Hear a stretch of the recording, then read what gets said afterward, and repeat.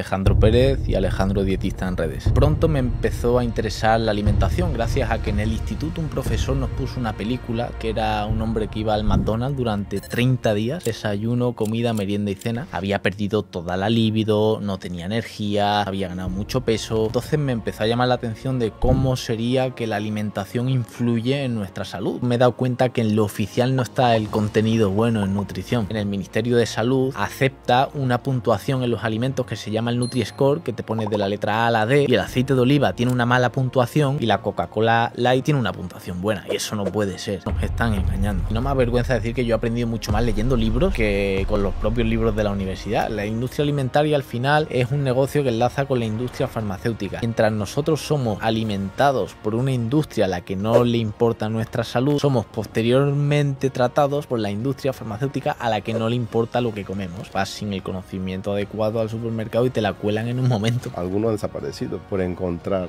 curas al cáncer. Algunos son muchos. Investigadores que han indagado en el cáncer de repente pues desaparecen bajo condiciones mm. sospechosas o se suicidan. Por desgracia al final el cáncer es una de las enfermedades más lucrativas para la industria farmacéutica.